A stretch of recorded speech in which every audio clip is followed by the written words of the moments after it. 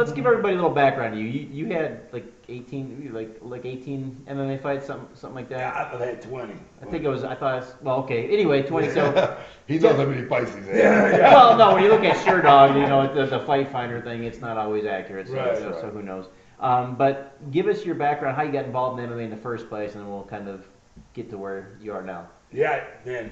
Um, I think me and Dude get along real well. I just like hitting people, and uh, Yeah. like when I was done with football, I was like, man, this I this whole football too. bro, this MMA thing was around, and and uh, you know, like we talked about when I fought the hyena, Yes. I literally had uh, I was in the Marine Corps, and I got Mario Sperry tapes, and I would fucking grab a jar head and be like, come here, I'm gonna try this, and. And, like, and I just hit, and that's and that's I mean, my first fight was against Edwin Dewees, my very first professional fight. He was like 25 and seven. I was obviously 0 and 0. How does that get sanctioned? Bro, It was new then. Bro, 2001, man. Oh, 2001. Oh, yeah. They were like, hmm, baby Godzilla, freaking 120, you're good. It was- And the Nevada commissioner now I didn't want to No, I wish it would prove been. anything. But uh, yeah, so he was, you know, Edwin Dewees was my very first fight, and then uh, the Hyena was my second. I didn't even have a team until like my fifth pro fight. Like, I didn't have a coach or nothing. But, Were you uh, in Georgia then? No, no, I was I was in the Marine Corps. I was stationed in Pensacola, and then I went to uh, Camp Lejeune, North Carolina for a good period of time. That was a lot of fun. Got busted down a couple times for fighting. Yeah. Yeah, got in a lot of trouble. So so what? It, so uh, watching the no, I won't talk about. So you were on some show yesterday. I heard about. Um, yeah, you were talking about. You realized that it, that it wasn't for you. Um, you know, you were a better, you know, at, at, at helping people cut weight. You're better at cutting weight Right, for yourself right. than fighting. So Right. so at what point did you say, you know, hey, this is, I'm done. When was your last fight? Uh, was it uh, four years ago? Yeah, four or five years ago. Yeah, So you said I'm sick of getting my ass kicked, and the, uh, I'm I'm gonna let help Yeah. someone else. It was funny. Like I never got TKO, never got knocked out. But uh, like my last fight, I was uh, in the back paying bills. Like I, I'm checking my taxes and stuff like that, paying stuff, and, I, it kind of hit home. Like I remember when I first started fighting. Um, you could have been like, man, you're going bankrupt. Your, you know, your lights are off. But I, if I would have won the fight, I was like, you know, I won the fight. Right. Nothing else in life matters. Um, and then towards the end, it's like, hey man, like you lost the fight, but you got a good payday. Mm-hmm. I'm like, okay. And that's when I kind of kind of knew, like, you know what, this fighting, you got to be all in. It's got to be everything, and, and it just wasn't that way. How how much weight? So you you said you went from heavyweight to to welterweight. Yeah, yeah. I went heavyweight, light heavyweight, middleweight, and then finished off at welterweight. So how did you say, okay, this is, you know, I, I've become good at this. How much were you cutting though for these fights? Oh, bro. 50 And who was helping you? Nobody, man. You know, I was like, well, this, uh, if I don't eat and I don't drink anything, I just sit in a sauna, water comes up, you know? And yeah, it was, it was, it was, it was bad back in the day. And then, Yeah, great system. bro, it was, it was very effective, right? Very effective. But, um, you know, like heavyweight, and, you know, it was funny because I, I got on the false thing, pretenses that, like, if I get, you know, to a lower weight class, I'll stronger. perform better, yeah. Yes. Uh, 185 was my magic, my magic number, and then, um, yeah, 170 was. Well, you see some of these guys now are killing themselves. Like, how can you like you know getting had to be helped onto the scale and stuff? Right. How do these guys possibly you know just going down one weight class? How is that going to be you know beneficial compared to what you're giving up to cut that weight? Yeah, you know, that, that's part of my job too. Like a lot of guys will call me like, "Hey man, do what? Should I go down a weight class?" When I was, uh, me and Brian Stann were really good friends, and uh, you know, he was WC world champion, and then UFC him out. Uh, when he got to UFC, obviously, um, Chicks don't like him. I heard. Yeah, dude, I mean, he's ugly, Yeah. not very smart. So you know, Brian Stanford, Steve Cantwell, guy who trained with us and uh, small Yeah. wit to get him ready. Oh, Brian shit, that's Steve, right. one kicks Jim, buddy. That's Steve's where I remember you from, Yes, man. of a- Yeah, I, told, it. I knew I knew knew that, it. Bro, Yeah. I told you. Hey, we beat Brian once and he beat us once. They fought a third fight. Yeah. And Brian got the decision in which Steve won that fight. But Brian Stann's a cool guy. I got love for will Brian. Not. every every fighter's got that other fighter that made him. You know what I mean? Steve Cantwell was the one that made Brian. It's like you, you get in this rivalry where it's like he takes you to a place that Yes. Steve was his. You know, Yeah. I think uh, Nate is Conor's and but anyway, so on and so forth. Steve's doing well too right now. So- He's making money. Oh, He has sure. uh, that marijuana thing going on. He has a big company out here. Jeff's a lot big investor in that. Or So so yeah, he's big ups to Steve Cantwell. He's not he's not going. He's living a good life right now. so your guy Kevin. What is Kevin at his heaviest? Kevin walks at his heaviest. I say 195. oh my god. So God. 195 to 155. Kevin. But but he's bro. he's That's 85 all the time. Yeah. That's yeah, that's not unheard, man. Most 55ers nowadays, yeah, they're they're 200, 200 plus, man. Like, uh, I'm like, where you at, man? You know what I mean? Like, if I have like a considerable amount of time, we can do some stuff. You know what I mean? What, Like, what do you what do you consider a considerable amount of time? well, Eight weeks, ten well, weeks. well, see, like Drew Dober, I'll tell you, it's like Drew Dober, James Vick. We were in the Lincoln, like between both of us, 60 pounds in three days. Like, like Drew Dober showed up in California. Bro, California, the, the state athletic commission, they're like calling, like, bro, he's 185 fucking pounds. Tuesday. He's got to weigh 155 by Friday. That's three days. And I'm like, "Ah, we're good, we're good." but, uh, you know, like once you once you get to like once you understand the body system, and that's the problem. Like when I, uh, you know, like obviously, man. I mean, with me talking my voice stuff like that, I don't sound the most like somebody that you know. I don't know if I want to cut away with this. Well, that's, that's probably because you smoke two packs a day, that's why Right. I don't smoke. I've never smoked. It's crazy. But dude, like you start talking about the system of the body, man. You start realizing like, okay, there's certain systems in your body that make you hold water. Like I always tell people, your body doesn't have a fucking brain. If it knew you, you know, if, you, if your body did have a brain, it knew that you'd go to the store anytime you freaking wanted and buy food. If it knew that, there'd be no reason to hold on to body fat, right? So there's certain negative feedback signals that we can override. Same thing with water. First stimulus, you step out in the desert, what happens? You start sweating, right? Why? Because your body's hot. And then all of a sudden your body's like, oh shit, there's no water coming in. There's another system in the bottom. You have something called the renin uh, angiotensin aldosterone system, right? And then you have something called ADH, which is antidiuretic hormone stuff. We learn to override that stuff by doing simple things, basic things, natural things, um, and it keeps the person peeing. You know what I mean? And then they make Water weight. loading. What Water else? loading is one very minuscule aspect of it. Like the big ones are going to be the vasopressin and the, and the uh, aldosterone, those specific hormones in the body. Oh, Yeah. shit. Bro, Knowledge. Let me That's tell you knowledge. something. Let me tell you Uh-oh. There's a reason. There's a reason George the why man. George Oh, Lockhart is the ambassador of Ripper Nutrition for our Okay, MMA okay. right? Okay. How much? I- did, how much did you cut? Listen, Because you anybody to says, some of those guys. any guy that says water loading is a small percentage of it, I'm sitting there like, holy shit, I'm gonna whole something. new So you never we went- cut That's all we that- know, water load. I'm always that way that's- too, that's though. the part, What do you think about that, Jordan? He doesn't cut anything. He fights at his weight. Bro, Bas Rutten, I remember when I went on the Inside MMA, Bas Rutten was like, what? What is this cutting weight? You just walk in and you fight, right? And I'm like, I'm like, man, that worked out well for you, man. I'm telling you, this Everybody guy. got it's iron not- The first Yeah, time I talked to him, you know, somebody told me it was a close friend of mine. He said, "Man, this guy is a genius." I think he just reads. I'm waiting for a guy with glasses, yeah. Yeah. bifocal, got a So ladder everybody It's a around. lot of fucking YouTube. He puts him on the phone. Hey man, yo, what's up? I was like, I think you got the wrong number. Man. I think he's some punchy guy, man. I can't even understand what he's saying. When he starts talking, I'm telling you what. Talk to Coach Kavanagh, Conor's coach. He said we will never do another coach without George Lockhart. We'll never do another camp without George Lockhart. How much? The guy is a genius at what he does, and I'm saying that to him to his face. And I appreciate, I appreciate guys. Whether you are a waiter or a janitor or a doctor, if you are great at what you do, you take so much pride in it, and you're you're phenomenal. I respect that more than anything. What, what did you cut, Jeff? Doctor. So much. Yeah. What did What did you cut? What weight? Yeah. I've never had to cut more than ten pounds. Yeah. Is there? Where's the? I mean, you talk about Bas, but that was, you know, in the a long time ago. What's the? But you're talking these huge weight cuts. Where's the the happy medium to, to diminishing returns? Right. You know, No. So, it depend on the individual. yeah, you know, typically, like, you, you find out, like, you can basically break down the body, like, you know, in terms of water. Our body's 70% water, depending on how, how lean you are. Um, so, once we uh, once we start working with an individual, we basically take out, you know, okay, how much lean muscle mass this individual holds. Like a lot of people think that an individual is, you know, let's say they're 10% body fat. You know, I used this analogy the other day, but if uh, an individual is 200 pounds or 10% body fat, that means they're 180 pounds of lean body mass. Now, of that 180 pounds, only about 40% of that is lean muscle tissue. Each kilogram of lean muscle tissue holds on to 13 grams of glycogen. Each gram of glycogen holds on to 3 grams of water. Who the fuck's he talking to? That's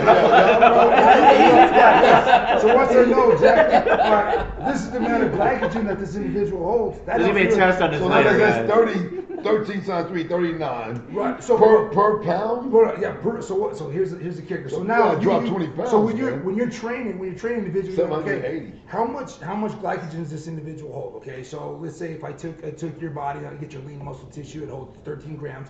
Per kilogram. Yes. And then each gram of that holds on to three grams of water. Now that helps me in two ways. Number one, when you're cutting weight, I know exactly how much water is coming from the lack of carbohydrates. You you know as well as I do. If I cut carbs, what happens? You lose an initial drop. yeah, but you also lose an initial amount of water. This is right? fascinating shit, isn't it, So, Jeff? but here's the thing. the When I reload the individual, right? Hit us, hit us, guys. It's some real knowledge. So I, I'm telling you. Dude, and I, I would write down the formula right here. Like I always tell people, like everything's a formula. Everybody's like, yeah, yeah, Lockhart, it's a formula. Nah, man, everything we do is mathematical. It's Yes. mathematical. and I'll show you why. But so once I find out the, the amount of lean muscle, uh, lean muscle tissue, the amount of glycogen that's hold on, 20, we add 20 percent because 20 percent more is, is based on your liver. Your liver holds that amount of glycogen too. So I add those numbers up. So somebody your, your size probably be about 550 grams of glycogen. Now, glycogen is how our body holds car- carbohydrates, stores it for energy, right? Yes. So if I if I know my body holds 550 grams of glycogen, that lets me know when I weigh in Friday, I have to have a minimum of this amount of carbohydrates by the time I fight. A lot of people think that that's easy. It's very difficult because um, not only not your body can only process a certain amount of carbohydrates per per uh, per minute and shit like that. But, but here's the thing that we also talk about. I was talking about transporters. You have some. You have GLUT one through GLUT five, S GLUT one, S two. These are transporters in the body, right? An S GLUT two is a sodium dependent transporter. So you activate it by using intaking sodium. GLUT five is a fructose emitted uh, transporter. GLUT four is an insulin depend, uh, emitted. So if you activate all three of them at the same time, your You'll body can transport more. 2.3 grams per minute. That almost dou- uh, more than doubles, right? Whoa. Well, That's stupid. Oh, sorry. That's Yeah, I'm yo, saying, I'm, like, I'm rocking I with wanna him. I'm rocking with him. Hey, that Holy stupid, bro, bro. he's a fucking So, so basically, hear me out. What he's saying is that yeah, you can be fully fucking recovered that next day. Hang on, do wait a second. The most important right. thing is, what do you give your athletes to recover on? What formula do you give them to recover on after Ripper the weight cut? nutrition. To rehydrate. Jeff, You know, how's your what- S so, like, what- what- like actual How's your supplements? S2? Yeah, like supplements. Is there a company or anything that you, a product that you take? I do. I will. I will say we do. We use uh, Ripper Nutrition. A lot of it due to the fact that prior military. RipperNutrition.com. We'll cut that out. Yes. Besides, uh, what's the shit the kids drink? The little babies with it with a dehydrated uh, Pedialyte. Pedialyte. I asked him, how, was your S two too? Ripper Nutrition Uh, has it's in the Pedialyte. five categories. Listen, It's, it's fine. I told you, Kevin Lee needs this guy. Yeah, yeah. Well, Every he- athlete needs this guy. You, you, I think you said your goal is to work with every single guy in the U.S. Make it like mandatory. But we have over 200 in the UFC right now. No, so- it. it's math. It, it, it, it's just science. Yes. It's Who science. who who is an absolute beast when it comes to cutting weight? I mean, who is like doesn't complain, is just a, a, a monster when it comes to that. Khabib's a gangster cutter. Um, Holly Holm is Yeah. okay. Like some people, you gotta get a, like give them a little bit of a push. Some people you gotta pull the reins back. Yeah. She's one that you have to pull the reins. You like get out, get out of the bath. Yeah, come on. She's like, no, I said twenty. I'm doing twenty. You're like, no. You know, like there's there's uh there's a lot of things that we have to watch out for. You know, in terms of like. Sound like that sounded dorky, like baroreceptors in the body when blood pressure drops too fast, or uh, we got to keep an eye on that. But for a fighter like her, this is what made you know May was so good at what she did. She said, "I said 20.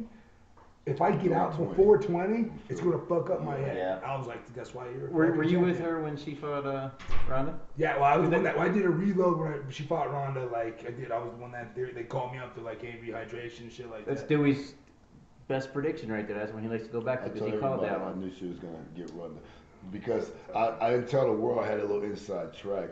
My fighter had sparred Ronda Rousey twice, Oh, shit. and you guys don't need to know what happened, but you know, This is just the food. What is it? The what? In- The food. I'm the food dude. The food dude. dude. He's the food dude. Who, I tell you what, he's now, brilliant. He's brilliant. Now, who who needs a every trick in your book to get them to do what they have to do to lose the weight? Throw a couple people under the bus for us. No, man, honestly, um, they do it right, and they're gonna be on schedule. Right. I You can know, tell. those guys, man, after they work with us once, dude, they, they follow us for the entire camp, and it's a lot easier.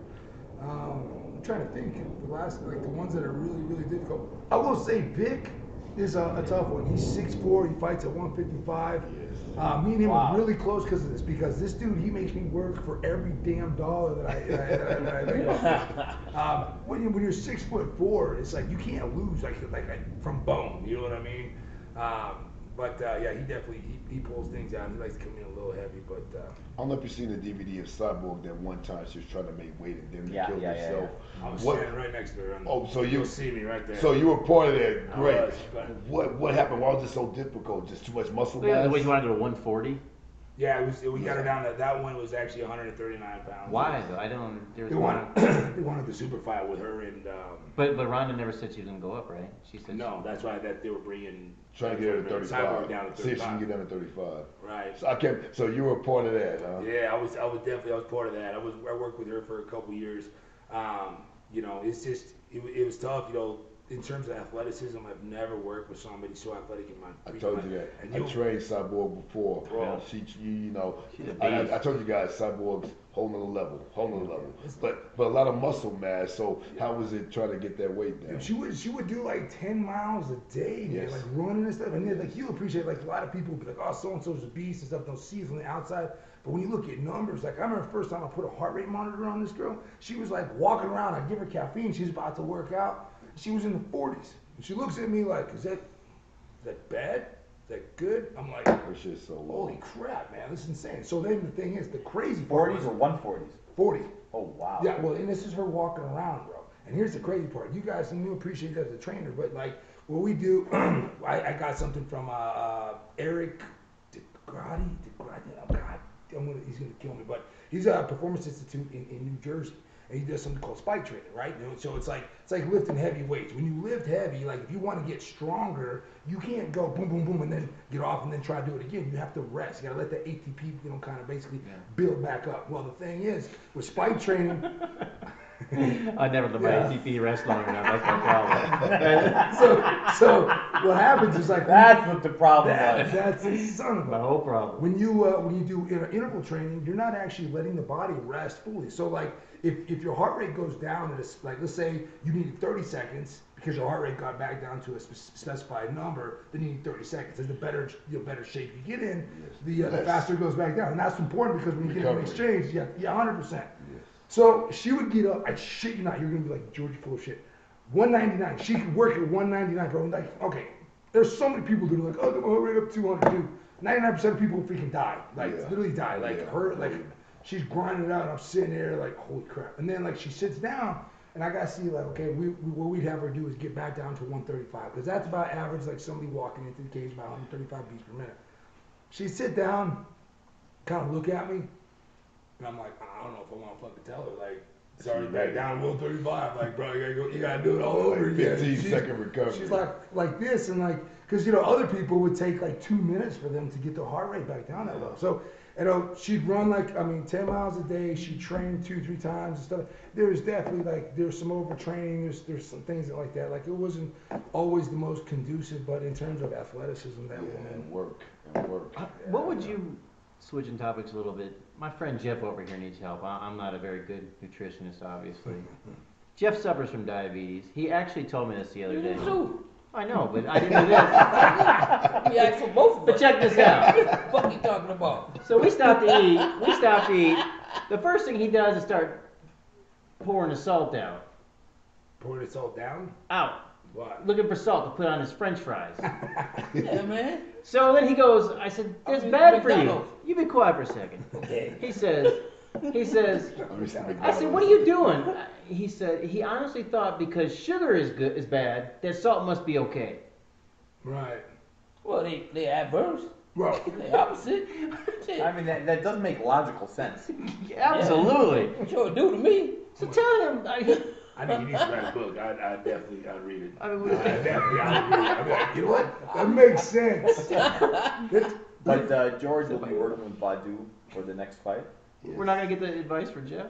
I, I don't think get I think that it's gonna take a whole other show. You know, and by the way, one reason I'm undefeated as a fighter because I, I look at people's ears and I would never fuck with a dude like this. yeah. Because when you see the ears like that, you know you better not fuck with them, right, dude? No, no, you just know you better not get fucking close. You're gonna That's snatch you the. I fuck up. say it's either You're that I gonna was stick really and move. good or I was really bad. You know what I'm Right, saying? right, Like, right. That dude did not know how to protect his face. Yeah, but so George is going to start working with Badou and hopefully, you know, start opening up into the boxing world also. He's coming into, obviously, his forte and his expertise is in MMA, but changing over to the boxing world. I mean, Yes, when they but get a guy Will like there be a difference? The? MMA guys drop way more weight than most Oh, I would say this is a stupid course. question, but is there a different way? I mean, boxers don't drop as much, but is there a different approach? Of course, to the way you- no. uh, Like we were sitting yeah, today with sure. Coach Larry Wade, Badou, and, and George, and we were kind of going over everything. And uh, you know, he, he gave some numbers about where we should be the week of, and we all kind of just you know, our eyes popped open. That's that's not you know boxing is a little bit different, but you know we're gonna we're gonna play around with it. And we we the one thing that I do great, not to compliment myself, but Oh, I shit. I surround myself with the best. Yeah, you do. Yeah. You must confess. Okay, yeah, okay. I, Yeah, I agree with that. Uh, but but hey, hey, you boxers are gonna make George George's life like heaven. They, hey George, they're gonna call you and say, I gotta lose eight pounds. I got two weeks. Oh, I'm gonna go to burp. Oh, well, well, Yeah, give me a burp and a hiccup. You should be good to go. we'll, we'll be, These guys are we'll be freaking out. They're five two pounds days. up, a week and a half away. They're freaking the fuck out. I'm like, bro, if what about MMA fighters like Kevin was Yeah, MMA. was Go ahead. 15 pounds up, you know, two weeks happy. before. He he he'd be like, I'm, I'm underweight. You Yeah. know what I mean? In general, though, Yeah. aren't wrestlers, 20 pounds three days That's before the how fight. Mo is like, oh, I'm Yeah. good. Mo be like Yeah. 15 pounds over, and I'll be like, but wrestlers cut more usually quicker and the more weight total than your basic stand-up fighters. even Yeah, it's MMA, just right? because of the culture of wrestling. Because of the way they, Yeah, they yeah, used They, yeah, they same to cut day that weigh weight, in a fight. They've been doing it since they were kids. I will tell you, wrestlers are the hardest people for me to work with, though. Just because they already know. It's been ingrained in them, so they they'll they'll, they'll cut Yeah, water out early. They they Yes. stop eating, like they don't realize. To lose a pound, you would have to be at a deficit of 3,500 calories. And It's, it's a numbers game.